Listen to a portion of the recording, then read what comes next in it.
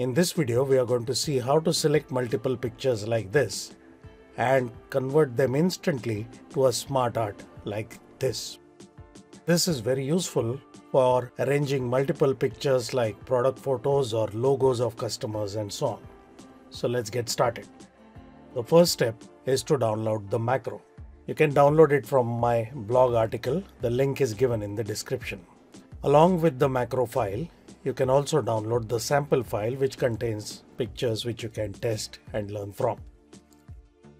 Now you need to install the add-in in PowerPoint. To do that, go to File Options, Add-ins. At the bottom, you will see a drop-down. Choose PowerPoint add-in and click the Go button. Click the Add New button and choose the Arrange Pics PPAM file. You will receive this message. Choose Enable Macros. Sometimes you may even need to unblock the file by going to File Explorer, Properties and enable the Unblock checkbox. Now you will see Add-ins tab with the Arrange Pictures button available there. You can test and learn the macro using the sample file.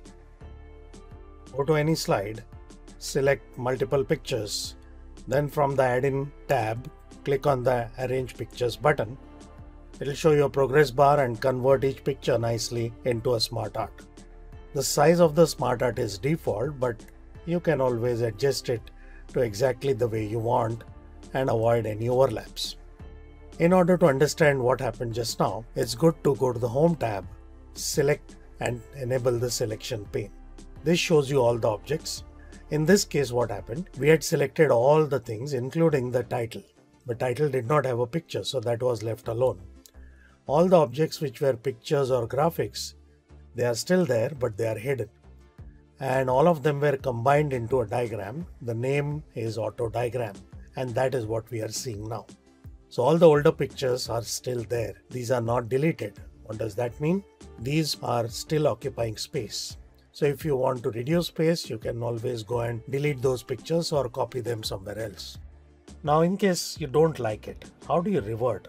Undo is not going to work here. So what you do is enable selection pane, click on the auto diagram, delete it. And now you can say show all to bring all the pictures back exactly the way they earlier were. If you want to reorder pictures, you can click on a picture and use a very powerful and useful shortcut called Shift Alt up arrow or down arrow to arrange them. You can select pictures in the order you want. First picture, just click. Second picture onwards, use shift click. Right now I'm just taking 5 pictures in that order. And then say arrange pictures, in which case it'll arrange it exactly the way in which you selected them originally. Okay, so you got the smart art, you arrange the pictures the way you want, you resized it, but now you want to change the size of an individual picture. You'll notice that along with the picture there is also a text box which is currently made transparent so it doesn't interfere visually but it's there. The problem is this is smart art. So if you try to increase or decrease the size of a picture, it'll affect other pictures as well. If you don't want that, you want the smart art to be converted to individual shapes. In order to do that, make sure the smart art is selected. Click on smart art design and choose convert to shapes. Now it's no longer smart art. It is just a collection of shapes with individual shapes grouped together. So select the outer grouped one and choose ungroup. Group, ungroup. Now you'll get lots of shapes because each picture was actually a shape and along with that a text box. So you will have to get rid of these text boxes manually and now you get individual pictures and you can adjust them the way you want. One word of caution this is not just a picture, standalone picture any longer, it's a picture inside a shape. There is no technical limit to the number of images we can handle. We have tested it up to 300 images. Of course, more pictures means more time. And it's very important that you do not do anything else with PowerPoint, otherwise the macro may misbehave and you may get an error. In case macro encounters an error, you will see a message which says there is an error and we will try to revert it back to the previous state.